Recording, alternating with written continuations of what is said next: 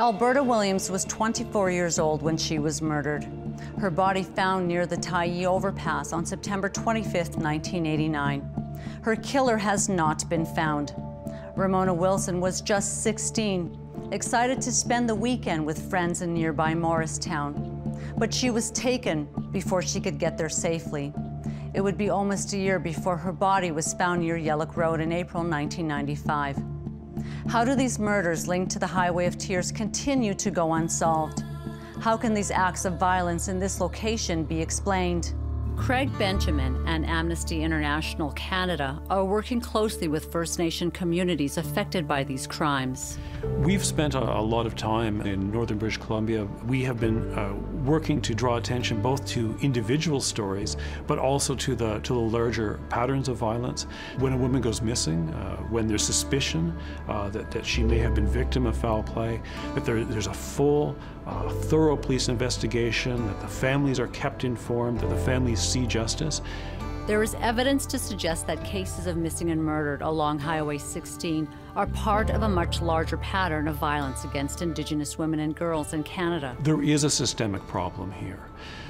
The, the very fact that we are looking at rates of violence uh, seven, eight times higher than that experienced by all other women and girls in, in Canada, that this violence does not come just from a single source, but is pervasive. This is violence that occurs in the home, but it also occurs in the streets.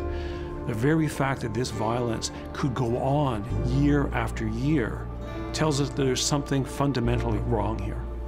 Chief Terry Teegee is all too familiar with the many challenges of living in a remote northern territory. The people of the Carrier Sekani region are isolated, and Highway 16, the Highway of Tears, is frequently the road most traveled. Well, logistically, for, for anybody who's in our territory or, or in one of our communities, it's, it's very difficult uh, for economic development and for uh, having a, a, steady job or uh, getting adequate education. So, so a lot of our people uh, don't have a reliable uh, transit system, don't have a vehicle. So what do you do? You, you hitchhike, and it's the, the easiest and cheapest way to travel.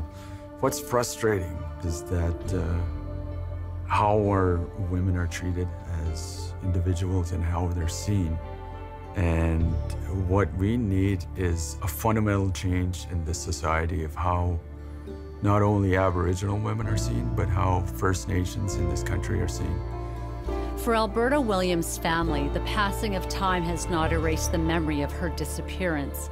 Her sister Claudia is still angry at how suddenly and tragically the events of that night unfolded.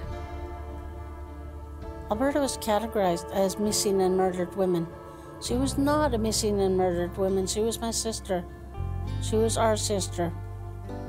She didn't go out on that highway. She didn't hitchhike. And it's not even her character.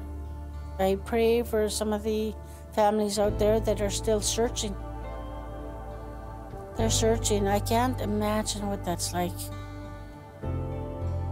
Every year since 1995, Ramona Wilson's family organizes a commemorative walk in Smithers, BC. They celebrate Ramona's life and remind the world whoever did this is still out there. What we've done all through the years was was to let people know that, that we're going to be uh, standing there every June to let people know not to forget the loved ones that, that have been murdered or not found. We try to involve everybody so that, you know, there's collaboration of people, you know, bringing them together so that they don't forget about, you know, Ramona's case and that there's still no answers and that there's more and more women going missing. And it, I think it's a really good way to bring that awareness. When I was going through this for 10 months, um, I'm just imagining what these parents are going through. They, they haven't found their loved ones. It is so hard. It's so difficult. I pray for them every day. Even though uh, uh my, my daughter's murder hasn't been solved. But uh, that's the hardest, the most difficult to go through is, is when you haven't found them yet. But we're strong. Uh, we, we shall always walk. We shall always walk. We'll, we'll be walking for them every year. Yes. For Chief Terry Teegee, the Highway of Tears is both symbolic and personal. Matilda Wilson is Teegee's aunt, and Ramona was his cousin. He has never come to grips with her murder. You know, finding Ramona's remains really impacted uh, the, the family. Um, when I see my aunt, she's, she's changed. It, this, these crimes change people. And uh, I couldn't imagine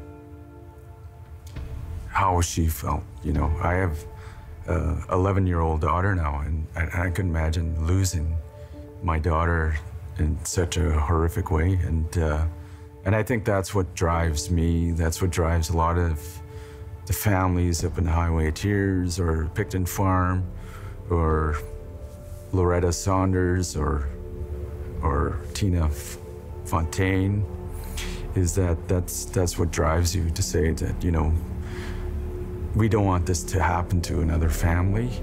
And